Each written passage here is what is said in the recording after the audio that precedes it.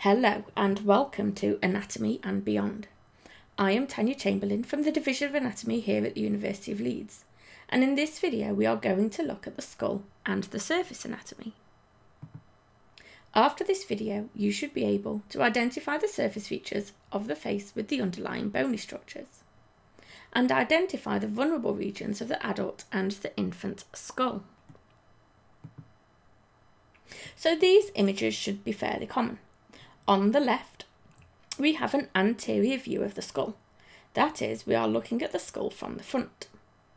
The right of the skull is here.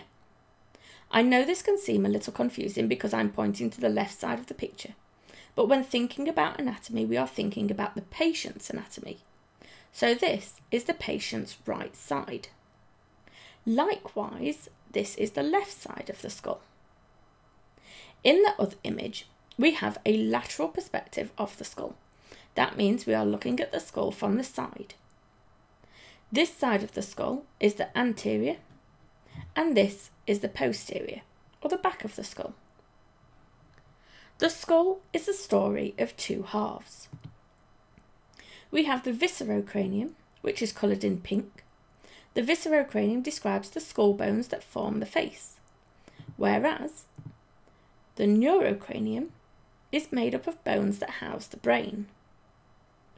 All the bones of the skull, except the ear bones, the hyoid and the mandible, articulate via, via sutures. This means that they are connected by sutures. Sutures are a fancy way of saying that the bones have become fused together. A lot of these bones are fused before a fetus is even born. But some bones of the neurocranium don't completely fuse until about 18 months later. You may know these as a fontanelle. Let's just try and collate some key points about the skull.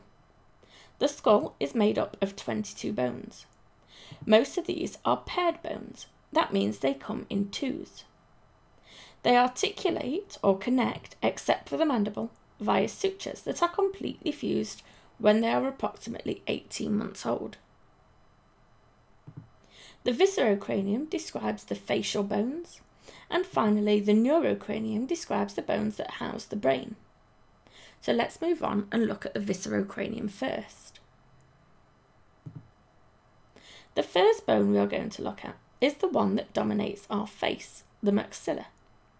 The maxilla forms our upper jaw and it contains the teeth uh, and the roof of our mouth. It can be quite difficult to visualise the 3D aspect of the maxilla. So let's swap onto a photogrammetry to have a look at the maxilla in 3D. This model represents the left maxilla. The maxilla is one of the very many paired bones of the skull. We are currently looking at the maxilla from an anterior view. If I turn the model to the left, we can see it from the lateral perspective. And if I turn it to the right, we can see it from the medial perspective. The maxilla runs from the floor of the orbit, your eye socket, and travels inferiorly to your teeth. Also, we can see from an inferior aspect that it forms the front of the part of the roof of your mouth. If you run your tongue behind your front teeth, you are rubbing the roof of your maxillary.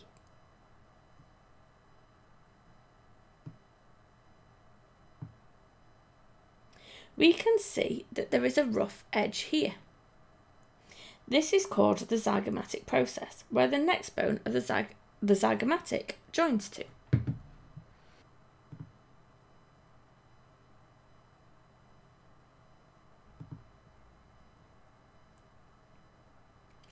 The two zygomatic bones, as seen here, are the bones associated with cheekbones.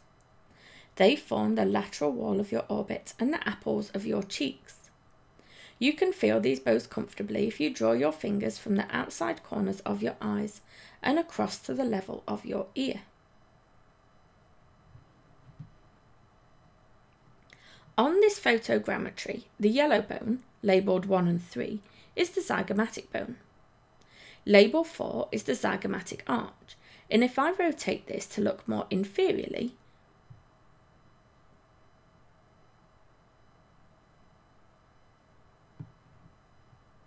we can see that the arch of this bone leaves a nice space to accommodate for the coronoid process of the mandible.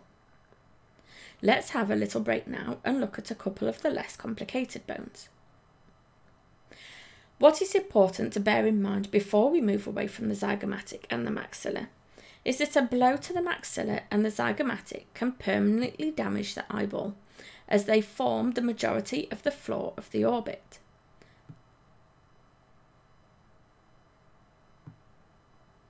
The small nasal bones are situated at the level of your upper eyelid.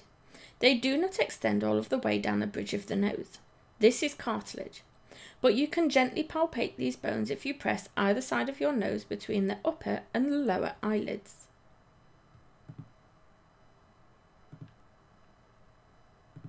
The lacrimal bones form the medial walls of the orbit and should not be attempted to palpate as you would be rubbing the inner corners of your eye. The lacrimal bones are small and very fragile. It has a small channel that allows the collection of tears during excessive lacrimation aka crying like when you're learning the bones of the skull.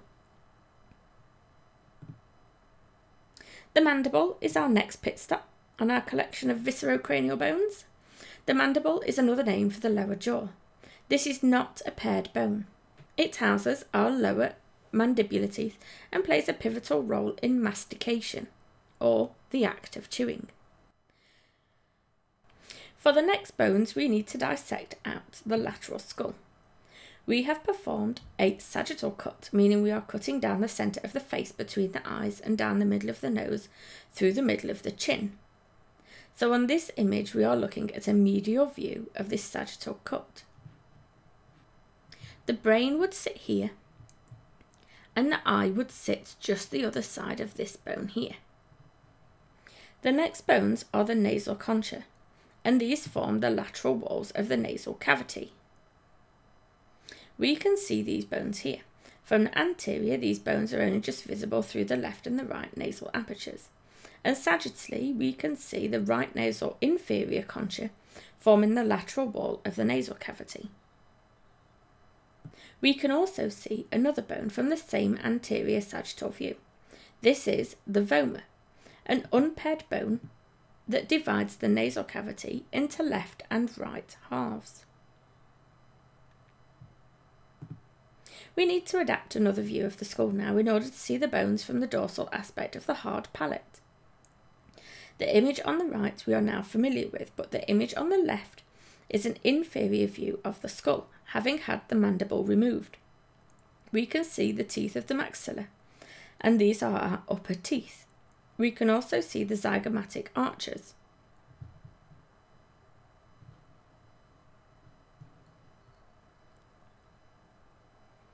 These form the bridge of the cheekbones. The palatine bones are identified here in blue. If you move your tongue or run your thumb over the roof of your mouth, you can feel hard bones of the maxilla. If you move further back, be careful not to gag, you can feel the edge of these bones as you begin to palpate the soft tissue. These palatine bones are forming this edge and these divide the oral cavity into the hard and soft palates. This is where we'll end our journey on the viscerocranium and move on to the neurocranium. The neurocranium, remember, is formed from the bones of the skull that are housing the brain. And for the first view, we are going to revert back to our complete skull images. The complete anterior view on the left and the complete lateral view on the right. The first bone to consider is the frontal bone. This is largely what makes up our forehead and it forms the superior wall or the roof of our orbit or eye socket. Inferolaterally, it is articulating with the zygomatic bones, and posteriorly, it articulates with the parietal bones. The frontal bone is an unpaired bone, and this bone in particular is quite thick and sturdy to protect the brain from injury.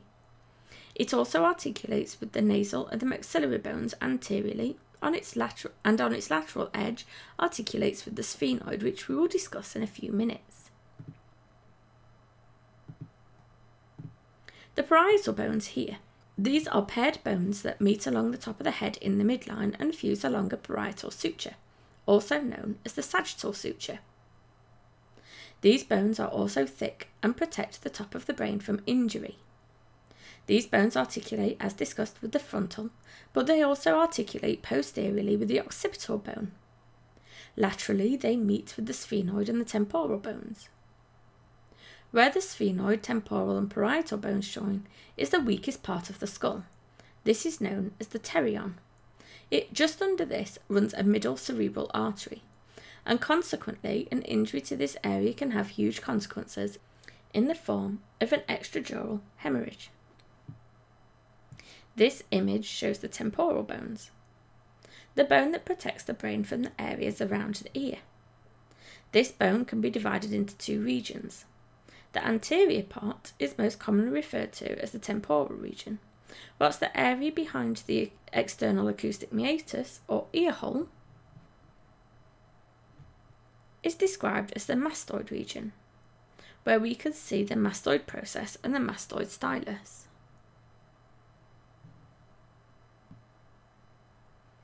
The next image will require us to look at the skull from another angle once again. If we focus on the lateral image on the right, we are going to cut the calvaria, or the skull cap, off. Then we're going to look into the cavity. To orient you further, the nose would be here, and the back of the head would be here. This shows us the occipital bone, that forms the majority of the posterior cranial fossa, so the area where most of the posterior brain and the cerebellum will sit.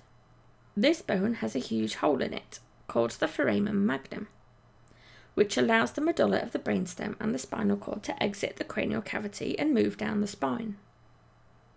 We also have an anterior and a middle cranial fossa. The anterior cranial fossa is home to most of the frontal lobe, whilst the middle cranial fossa provides a bed in which the temporal lobes of the brain sit. Thankfully, there are only two more bones that we are interested in today, which we'll move on to now. The first one is the ethmoid bone. This unpaired bone allows nerves to travel for olfaction or to smell. It's a quite a fragile bone and susceptible to damage resulting from a blow to the face, such as boxing or a car crash. In such circumstances, it can be possible to severely damage the olfactory nerve and produce anosmia, or loss of smell. Our last bone is quite complex, and yet it is a very significant bone. This is the sphenoid. This large bone is shaped somewhat like a butterfly, which we will look at in a minute and although it is considered anatomically to be part of the neurocranium, it forms a bridge between the neurocranium and the viscerocranium. We could see in this image that it articulates with the temporal, frontal, zygomatic bones. But on this image, we could see it articulates anteriorly with the palatine bones too. It also forms a small part of the anterior and the middle cranial fossa. In order to get more of an appreciation for this sphenoid, let's have a look at the photogrammetry. We are looking at the sphenoid from a posterior aspect, so we are looking at the back of the sphenoid, and this is why you'll remember I said this bone reminds me of a butterfly. We have the body here, and we have the lesser wings here, and the greater wings. This bone has a number of holes in it, to allow the passage of the cranial nerves to the appropriate organ systems. These holes are the optic canal, so these allow for passage of the optic nerve to the eye. We also have these fissures, which allow for the passage of some nerves to control the muscles of the eye. The foramen rotundum, which allows the passage of V2, the trigeminal, to enter the maxilla, and the foramen ovale, which allows for the passage of the third part of the trigeminal nerve towards the mandible. Now we have looked at our first learning objective, let's go and have a look at the vulnerable regions of the skull.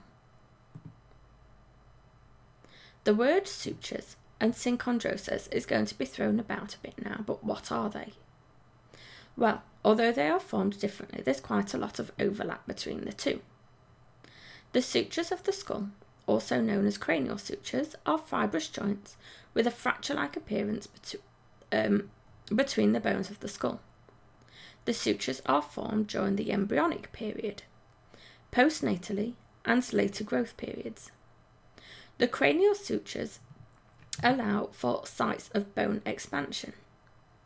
They ossify at different rates, but most sutures have ossified by the age of 20.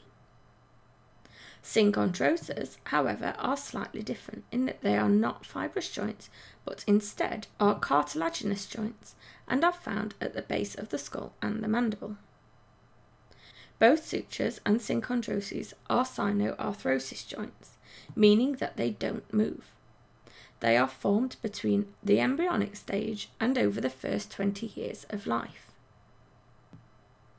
Depending on age and skeletal growth, the sutures are seen at various states of fusion and ossification. Many sutures join together the bones of the skull. They connect and form junctions with each other. Sutures can be further divided uh, according to their location in the sutures of the neurocranium, or sutures of the viscerocranium, and the sutures between the neuro and viscerocranium. The latter are seen between the borders of the cranial bones belonging to the neurocranium and those belonging to the viscerocranium. Sutures and synchondroses are something we have compromised on throughout evolution. Any area in the body that forms a link is an anatomical weakness. We see this throughout the body in blood vessels and synovial joints like the knees and the elbows. And these are the joining of bones that form sutures, and synchondroses are no exception to this rule. They are weak sites and susceptible to damage from trauma. Given that the skull is supposed to protect our brain and vital structures of the eye, mouth, and nose, why have we evolved to have these weak areas? Well, due to the enormous size of our head in relation to the birth canal, in order for us to be evacuated during vaginal birth, the skull must be compressed. We need it to be malleable. It does this due to undeveloped cranial plates that form spaces called fontanelles. We will look at these in a few minutes. Additionally, our viscero and neurocranium need to grow to accommodate our ever increasing brain size. So, being able to form junctions has become necessary for allowing brain development and an increasingly larger sized head. The rate at which sutures fuse and ossify is physiologically relevant. During childbirth, the fibrous joints provide malleable quality to the child's head, allowing the bones to move. In neonates, junctions are incompletely fused, leaving membranous gaps called fontanelles. Fontanelles are also often called soft spots. There are six fontanelles the frontal, the occipital, the mastoid, and the sphenoid fontanelles. The lateral pressures on the skull during birth allow for superior displacement of the parietal bones for easier passage, which can remain displaced for a few hours post birth. The fontanelles form sutures. The coronal suture forms over the frontal fontanelle. The coronal suture is seen on both the lateral and superior sides of the skull. It is formed at the junction between the parietal bones and the frontal bone. It runs horizontally across the superior part of the skull between the middle and intersects at the opposite coronal suture. The coronal suture usually fuses around the age of 2 and ossifies around the age of 24. The squamous suture, named after the squamous part of the temporal bone, forms the suture between the temporal and the parietal. This is paired with one on the left and one on the right of the skull. The lambdoidal suture forms at the occipital and forms between the occipital and the parietal bones. The lambdoid suture is an inverted U shape seen on the posterior cranium. It is formed at the articulation between the superior border of the occipital bone and the posterior edges of both parietal. In the middle of the posterior cranium, the lambdoid suture meets with the sagittal suture, forming a landmark called a lambda. It is shaped like the Greek letter lambda, after which it is named. The lambdoid suture usually ossifies around the age of 26. The occipito-mastoid suture is formed by the articulation of the squamous part of the occipital bone and the temporal mastoid part. It looks like an oblique continuation of the lambdoid suture. The occipitomastoid, parietomastoid, and lambdoid sutures intersect on the posterolateral sides of the skull and form a landmark known as the asterion. The occipitomastoid suture ossifies around the age of 16. The spheno-squamous suture is found on both lateral parts of the skull. It is a vertical suture between the anterior aspect of the temporal bone squamous part and the greater wing of the sphenoid and usually ossifies around the age of 10. One very significant suture is this one here. This is the pterion. The joining of the sphenoid, parietal, frontal and squamous part of the temporal bone.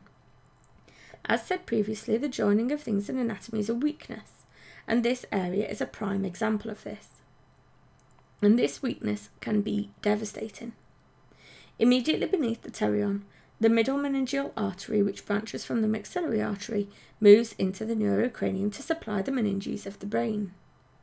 This area of the skull is also the thinnest area, and a blow to this can result in the fracturing of this suture and rupturing of the artery beneath it.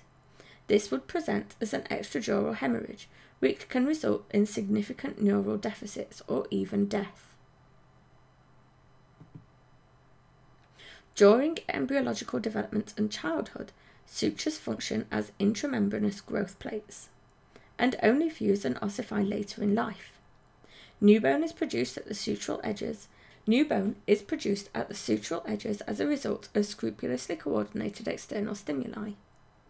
Delayed or restricted growth results in suture agenesis and wide open fontanelles. Moreover, excessive bone growth can also result in deformities of the skull. The frontal fontanelle closes between 12 and 18 months. The occipital fontanelle, also known as the posterior fontanelle, is at the junction between the sagittal and lambdoid sutures typically closes around the first and second months of age. The minor fontanelles are paired, and these are smaller and situated on the sides of the skull. They are the sphenoid and mastoid fontanelles. The sphenoid fontanelle is located between the temporal is located between the temporal, sphenoid, and the parietal bones, whilst the mastoid fontanelle is situated between the temporal, occipital and parietal bones. And that sums up the objectives for this video. You should now be able to identify the surface features of the face with the underlying bony structures and identify the vulnerable regions of the adult and the infant skull.